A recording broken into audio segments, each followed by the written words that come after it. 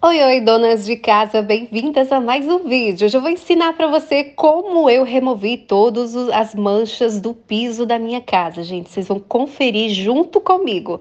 Em um recipiente você vai colocar um pouquinho de água para ferver, cerca de 250 ml.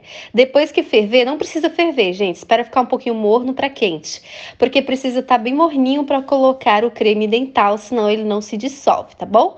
Coloca aí um pouquinho de creme dental, mais ou menos a quantidade que vocês usariam para escovar os dentes, dá uma mexida e pinga um pouquinho aí de óleo de peroba, tá? Não muita coisa, porque se for muita coisa vai ficar escorregadio e não é o que a gente quer. Aí agora é só a gente mexer tudo isso muito bem e vamos passar o pano, gente. Vai dar brilho, vai retirar manchas e vai deixar teu piso com cara de novo, gente. Pode, podendo ser utilizado em porcelanato, em cerâmica, enfim, gente. Olha esse resultado, já vai dando brilho. E sabe aquele aquele resultado que quando seca fica brilhoso, pronto, gente, é exatamente isso que você vai ter e que você vai observar logo na primeira vez que você for fazer.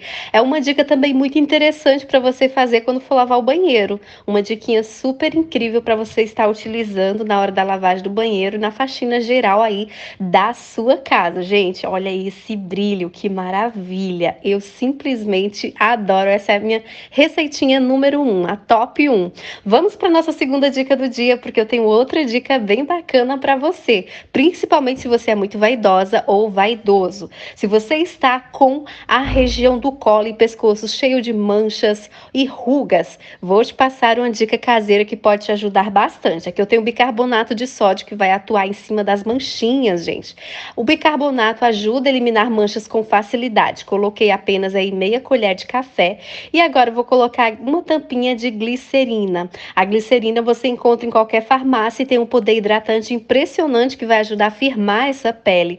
Dá uma mexidinha aí, como vocês estão vendo aqui no vídeo, olha só. E agora é só a gente passar na região. Fica muito fácil de fazer a aplicação porque se torna aí uma pastinha, tá bom? Você pode ir passando na região do colo, pescoço, onde tem manchas, onde tem rugas e onde a flacidez já está incomodando bastante. É importante lembrar você que antes de passar na pele, você tem que fazer um teste alérgico antes para se certificar de que você não vai ter alergia. Algumas pessoas podem ter alergia principalmente à glicerina, então faz um teste alérgico antes de sair aplicando.